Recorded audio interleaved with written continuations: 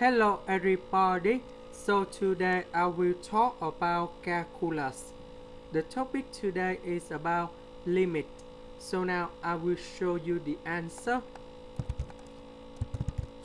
About x squared minus 9, we can put about x minus 3 multiply with x plus 3. About this one, we can do about factorization and you got about x s plus 3 and s minus 1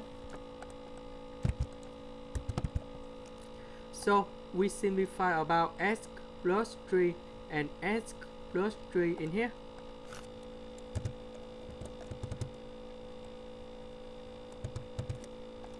Now we put negative number 3 go to s and s and we can get the final answer. That's is about negative number 6 over negative number 4 we simplify you got about 3 over 2 that's is the end. Thank you for watching